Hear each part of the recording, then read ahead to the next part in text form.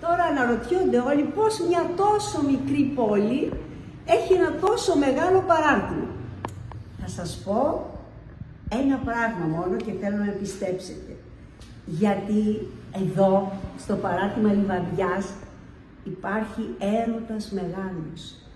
Και ο έρωτας είναι αυτός που κάνει όλες τις εκδηλώσεις, όλα ό,τι κάνουμε τα προγράμματα, τα κάνει τόσο όμορφα, τόσο σπουδαία, τόσο δυναμικά. Και ο κόσμος το έχει καταλάβει αυτό, Λάμπρο.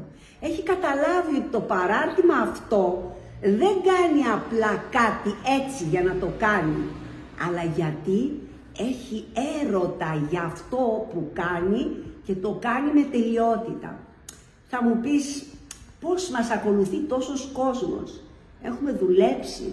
Δεν είναι απλό αυτό το πράγμα. Έχουμε δουλέψει πολύ. Έχουμε προσπαθήσει να προσεγγίσουμε τις γυναίκες μέσα από προγράμματα, όχι μόνο ιατρικά. Γιατί εδώ είναι το λάθος. Εάν συνέχεια μιλάς ιατρικά, έχεις χάσει το παιχνίδι.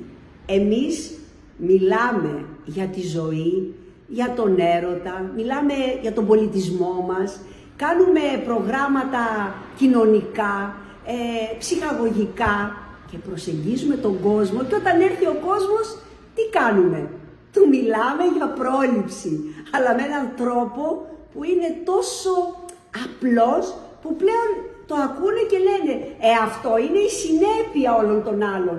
Πώς θα κερδίσουμε τη ζωή; Κάνοντας πρόληψη μέσα από τη χαρά της ζωής.